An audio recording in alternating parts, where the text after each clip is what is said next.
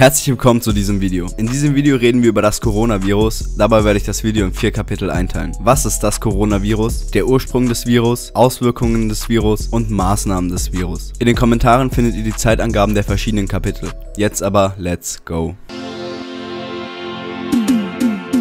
Das unter dem Namen verbreitete Coronavirus löst die Erkrankung Covid-19 aus und wird in der Fachmedizin auch als SARS-CoV-2 bezeichnet. Dieses Virus gehört zu der Art Severe Acute Respiratory Syndrome oder zu Deutsch schweres akutes Atemwegssyndrom. SARS-CoV-2 ist allerdings nicht das erste seiner Art, was man anhand der zwei im Namen schon vermuten konnte. Die sogenannten Coronaviren, welche sowohl Menschen als auch Tieren infizieren können, wurden erstmalig im Jahre 1960 entdeckt. Auch potenziell tödlich verlaufende Krankheiten wie MERS, Middle East Respiratory Syndrome oder eben SARS werden durch diese Viren ausgelöst. Bei dem aktuellen Coronaviren handelt es sich allerdings um eine neuartige Form dieser Viren. Von vielen Medizinern wird das neue Virus mit dem SARS-Erreger verglichen, der 2002 und 2003 bereits eine Epidemie auslöste. Damals erkrankten über 8000 Leute an SARS, gestorben sind von diesen 8000 über 750 Personen. Die beiden Viren ähneln einander sehr, allerdings gibt es einen enormen Unterschied, der somit auch die ausgehende Gefahr der beiden Viren komplett unterscheidet und somit auch SARS-CoV-2 weitaus gefährlicher macht. Die Viren des SARS-Erregers vermehrten sich tief in der Lunge. Im oberen Rachenraum wurden zu seiner Zeit selten Viren von Forschern entdeckt, weil diese sich dort schlichtweg nicht vermehren konnten. Durch die Vermehrung in der Lunge fühlte sich die Person auch sofort krank und man konnte somit auch schneller handeln. Außerdem führte die tiefsitzende Vermehrung dazu, dass es circa eine Woche dauerte, bis die infizierte Person noch infektiös war, da die Viren eine Woche benötigten, bis sie sich so viel vermehrt hatten, dass sie auch im oberen Rachenbereich auffindbar waren, um beim Husten oder ähnliches ausgesondert zu werden. Bei SARS-CoV-2 ist es so, dass sich die Viren im Rachenbereich vermehren und somit eine infizierte infizierte Person viel schneller infektiös ist, aber nicht direkt richtige Symptome bekommt, da sie sich von dort aus erst vermehren müssen, bis sie Lungenbläschen angreifen können. Bei 80% der Erkrankten wird kein Krankenhausaufenthalt benötigt, von den restlichen 20 brauchen wiederum 25 Intensivpflege, was bedeutet, dass rund 5% der Infizierten Intensivpflege benötigen. Übertragen wird dieser Virus durch die sogenannte Tröpfcheninfektion. Es handelt sich hierbei um eine Infektion, bei der Krankheitserreger über feinste Speiche- oder Schleimtröpfchen beim Sprechen, Husten und Niesen übertragen werden. Das Virus ist mittels RT-PCR im Sputum, im Trachealsekret, in der bronchoalveolären Spülflüssigkeit und im Nasenrachenabstrich direkt nachzuweisen. Die Symptome für die Erkrankung Covid-19 lauten wie folgt. Laufende Nase, Halsschmerzen, Husten, Fieber und bei einem schweren Verlauf auch Atembeschwerden. Während der Virus erst Ende Januar seinen ersten Infizierten in Deutschland forderte, liegt der Ursprung über drei Monate zurück.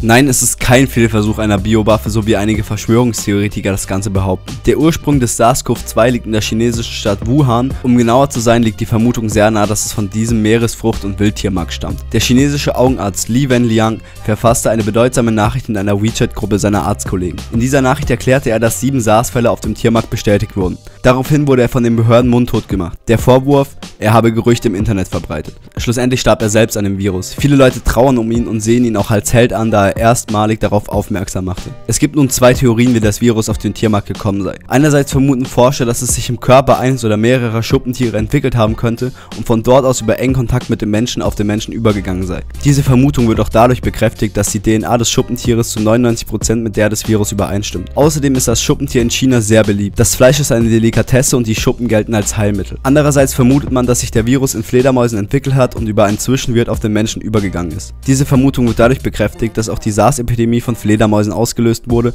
sowie viele andere Krankheiten und Viren, darunter zum Beispiel Ebola. Außerdem gibt es 300 Meter entfernt von diesem Tiermarkt ein Forschungslabor, wo unter anderem an Fledermäusen und den über 10.000 Viren, die sie entwickeln können, geforscht wird. Bei der Fledermaus stimmt die DNA allerdings in Anführungsstrichen nur zu 96% mit der des Virus überein. Welche der beiden Vermutungen nun die richtige ist, konnte Stand 25.03. noch nicht geklärt werden. Da Coronaviren bereits bekannt waren, war es eigentlich nur eine Frage der Zeit, bis erneut eine Epidemie ausbrechen sollte. Dadurch, dass in China sowohl Mensch mit Mensch als auch Mensch mit Tier auf engem Raum leben, war es klar, dass es immer wieder zu neuen Erkrankungen aus China kommen wird. Am 20.01.2020 wurde von der chinesischen Regierung nun bekannt gegeben, was einigen Leuten bereits klar war. Experten schätzen dies als zu spät ein, da man die verlorene Zeit am Anfang nie wieder aufholen könne. Wuhan ist eine große Stadt, welche in der Mitte von China liegt. Von dort aus pendeln täglich hunderttausende Leute in alle Richtungen. Alleine am Wuhans Flughafen verlassen im Durchschnitt täglich 65.000 Menschen die Stadt und mit ihnen auch der Virus. Somit wurde aus der Epidemie relativ schnell eine Pandemie. Auch Deutschland erreichte das Virus relativ schnell. Ende Januar wurde der erste Fall im Bundesland Bayern bekannt gegeben. Erstmal sind die natürlichen Auswirkungen, dass es infizierte und damit kranke Menschen gibt, die an diesem Virus auch sterben können. Dadurch kommt es natürlich auch dazu, dass Krankenhäuser sowie auch Friedhöfe überfüllt sein könnten. Doch zu der sogenannten Kurve der Infizierten später mehr. Ich möchte hier eher darauf eingehen, wie die verschiedenen Länder damit umgegangen sind und was für Maßnahmen sie gezogen haben. Da ich in Portugal war, als das alles sozusagen eskalierte, kann ich euch auch von meinem Empfinden berichten. Ein Video über die komplette Reise wird noch folgen. Davor reden wir allerdings erstmal über die internationalen Auswirkungen, die allen von euch bekannt sein sollten. Ein großes Thema der Auswirkungen sind die sogenannten Hamsterkäufe. Jeder kennt sie und jeder hasst sie. Personen, die anderen Leuten die Lebensmittel oder andere Dinge wegkaufen, weil sie Angst haben, nichts mehr zu bekommen. Wie unsere Kanzlerin schon sagte, wird es immer Lebensmittelversorgungen geben und das Hamstern ist einfach nur illoyal. Und Illoyalität ist das Gegenteil von dem, was man in solchen Zeiten wirklich gebrauchen kann. Eine weitere Auswirkung, die auch ziemlich bekannt ist, die Verbreitung von Fake News. Auch eine Sache, die man in so einer Zeit echt nicht gebrauchen kann. Viele Nachrichten- und Zeitungsfirmen ziehen natürlich ihren Profit aus der Sache. Oftmals wird extremer Clickbait betrieben, der sich im Beitrag meistens als eine Lüge bewahrheitet. Hier mal ein Beispiel der Bild-Zeitung. Die Bild verfasste einen Beitrag, welcher mir persönlich auf Snapchat vorgeschlagen wurde. In der Überschrift steht 60 Jahre Ehe, Paar stirbt innerhalb von zwei Stunden an Corona. Der zusammengefaxte Kontext ist ungefähr, dass das Ehepaar seit acht Tagen infiziert war und keine medizinische Unterstützung genossen hat. An Tag 9 wurden beide ins Krankenhaus gebracht, wo die Eheleute in einem Abstand von zwei Stunden zueinander gestorben sind. Viel schlimmer sind dann allerdings die richtigen Fake News, an denen wirklich gar nichts stimmt. Und ich denke, dass ich gar nicht so unrecht habe, wenn ich sage, dass es wirklich noch nichts nicht gab. Von Falschangaben bei den Zahlen über verbreitete Bilder zu aus dem Kontext gerissenen Aussagen. Einige reden dieses Thema runter, als sei es nichts und andere haben so Panik betrieben, dass es teilweise erst zu Hamsterkäufen oder ähnlichem kam. Außerdem kam es auch dazu, dass zum Beispiel in Autos eingebrochen wurde, nur um Desinfektionsmittel zu klauen. Neben viel Loyalität gibt es auch sehr viele Egoisten, die in dieser Situation nur an sich denken. Vor allem, da man sich Dinge wie Desinfektionsmittel auch einfach mit Ethanol bzw. sehr hochprozentigem Alkohol und ein bisschen Aloe Vera selber herstellen kann. Außerdem reicht es vollkommen, sich einfach die Hände mit Seife zu waschen. Dazu könnt ihr noch eine FFP3-Maske sowie Handschuhe tragen, wenn ihr das Haus verlasst. Weniger zu rauchen und sich nicht ins Gesicht zu fassen kann auch nicht schaden.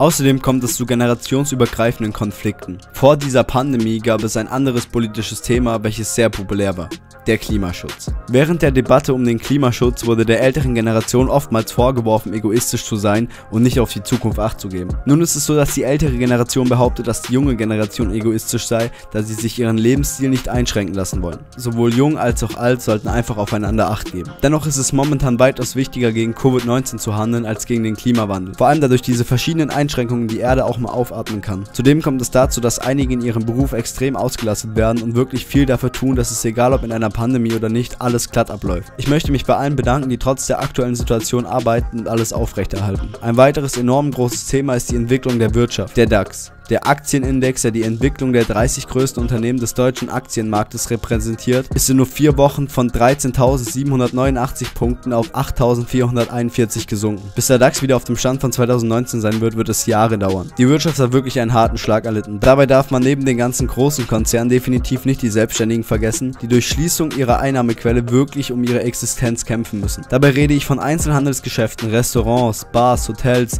etc. Wenn diese Personen ihren Laden zum Beispiel schließen müssen, gibt es keine Möglichkeit weiter Geld zu verdienen. Das Bundesministerium hat allerdings veranlasst, dass man sich einen gewissen Monatssatz auszahlen lassen kann, je nachdem wie groß der Betrieb ist. Die ganzen Länder haben verschiedene Maßnahmen getroffen. In Ländern wie Italien oder Spanien, die von dem Virus überrollt wurden, wurde direkt eine Ausgangssperre verhängt, um die Verbreitung einzudämmen. In anderen Ländern wird das alles Step by Step gemacht. Zu diesen Ländern gehören unter anderem Deutschland und Portugal und noch viele weitere. Jedes Land macht es anders, aber einige Maßnahmen sind weiter verbreitet als die anderen. Zum Beispiel Absage von Veranstaltungen, Schließung von Grenzen, Schließung von Läden, Restaurants und Unterkünften, Einstellung von Bahn- und Flugverkehr und Kontaktverbot. Während meinem Aufenthalt in Portugal waren wir einiger dieser Maßnahmen ausgesetzt. Wir begaben uns nach Portugal, um dort den Jakobsweg zu laufen. Dort fiel es uns von Tag zu Tag schwerer, eine Unterkunft zu finden, da die Unterkünfte größtenteils geschlossen waren. Als wir kurz vor der Grenze zu Spanien erfuhren, dass in Spanien eine Ausgangsbeschränkung verhängt werden solle, haben wir die Reise abgebrochen. Bis zum Flug verbrachten wir die Zeit in Porto. Dort hieß es anstehen vor den Lebensmittelmarkt und Essen bestellen. Unser Flug wurde mehrfach annulliert. Wir telefonierten mit der deutschen Behörde, die uns durch Auslastung ihrer Kapazitäten auch nicht weiterhelfen konnte. Den Flughafen konnte man nun nur noch mit gültigem Ticket betreten. Schlussendlich buchten wir einen 795 Euro Flug für zwei Personen, damit wir noch irgendwie nach Hause kommen. Da es auch fast keine anderen Flüge mehr gab, mussten wir ein Landeziel auswählen, welches 400 Kilometer Autofahrt von unserem Zuhause entfernt ist. Die Reise nahm ein wirklich nervenaufreisendes Ende.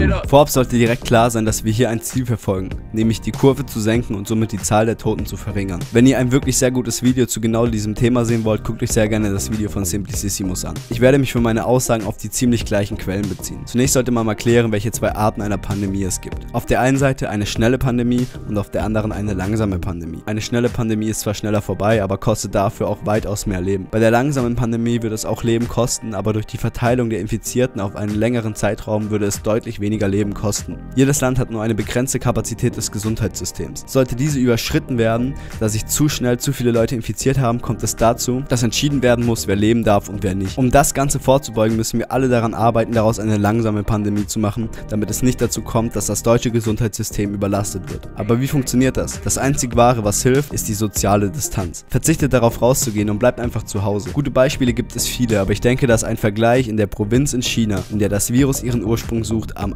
aussagekräftigsten ist. Am 20.01.2020, der Tag, an dem die chinesische Regierung erstmalig Informationen über den Virus veröffentlichte, waren es nur um die 10 registrierten Infektionen, die orangenen Balken. Während es in Wirklichkeit schon an die 1400 Infektionen waren, die grauen Balken. Die Zahl der registrierten Infizierten stiegen von Tag zu Tag enorm an, sodass am 23.01. Wuhan und am 24.01. auch 15 weitere Städte der Provinz in Quarantäne versetzt wurden. Am 23.01. waren es dann bereits schon um die 400 Registrierte und damit 4000 Prozent von den Registrierten drei Tage zuvor. Tatsächlich Infizierte gab es zu dem Zeitpunkt allerdings schon an die 2000 Fälle. Nach der Schließung der 16 Städte flachte die Kurve der tatsächlich Infizierten extrem ab und somit wurde daraus eine langsame Pandemie. Schaut man sich die Zahlen Stand 26.03.2020 4.06 Uhr an, sprechen sie ein eindeutiges Bild. In der Provinz gibt es momentan 67.801 Infizierte und bedauerlicherweise auch 3.163 Tote. Allerdings auch 60.811 bereits genesene Personen. Tragischerweise gibt es allerdings auch Länder, die nicht darauf vorbereitet waren und eine schnelle Pandemie, die viele Leben kosten wird, nicht verhindern konnten. Zu diesen Ländern gehören vor allem Italien und Iran. Da euch die Situation in Italien bekannter sein sollte, werden wir die Zahlen als Beispiel nehmen. Durch die schnelle Ausbreitung gibt es in Italien mehr Fälle, als das Gesundheitssystem Kapazität hat. Somit kommt es zu weitaus mehr Todesfällen. Auf die momentan registrierten 74.386 Infizierte kommen leider nur 9.362 Genesene. Die Sterberate ist dabei allerdings erschreckend hoch. In Italien sind bereits 7.503 Menschen an diesem Virus gestorben und es werden von Tag zu Tag immer mehr. Und genau sowas darf in dieser Form nicht in weiteren Ländern passieren. Das klare Ziel ist der Hashtag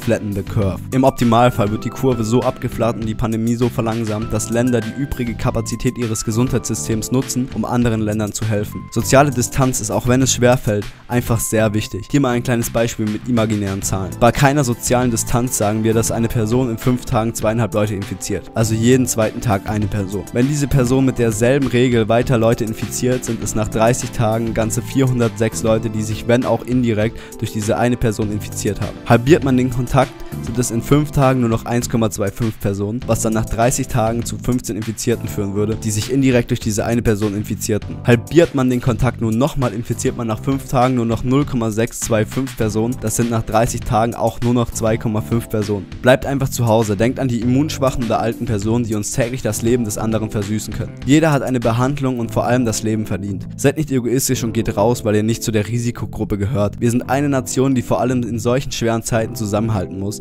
und zusammen an einem Strang ziehen muss. Um nun jetzt auch noch mit positiven Vibes aus diesem Video zu gehen, zitiere ich hier erstmal einen Beitrag, den ich auf Twitter gefunden habe. Es könnte sein, dass in Italiens Häfen die Schiffe für die nächste Zeit brach liegen. Es kann aber auch sein, dass sich die Delfine und andere Meereslebewesen endlich ihren natürlichen Lebensraum zurückholen dürfen. Delfine werden in Italiens Häfen gesichtet, die Fische schwimmen wieder in Venedigs Kanälen. Es könnte sein, dass sich Menschen in ihren Häusern und Wohnungen eingesperrt fühlen. Es kann aber auch sein, dass sie endlich wieder miteinander singen, sich gegenseitig helfen und seit langem wieder ein Gemeinschaftsgefühl erleben. Menschen singen miteinander. Das berührt mich zutiefst. Es könnte sein, dass die Einschränkung des Flugverkehrs für viele Personen eine Freiheitsberaubung bedeutet und berufliche Einschränkungen mit sich bringt. Es kann aber auch sein, dass die Erde aufatmet, der Himmel an Farbkraft gewinnt und Kinder in China zum ersten Mal in ihrem Leben den blauen Himmel erblicken. Sieh dir heute selbst den Himmel an, wie ruhig und blau er geworden ist. Es könnte sein, dass die Schließung von Kindergärten und Schulen für viele Eltern eine immense Herausforderung bedeutet. Es kann aber auch sein, dass viele Kinder seit langem eine Chance bekommen, endlich selbst kreativ zu werden, selbstbestimmter zu handeln und langsamer zu machen und auch Eltern ihre Kinder auf einer neuen Ebene kennenlernen dürfen.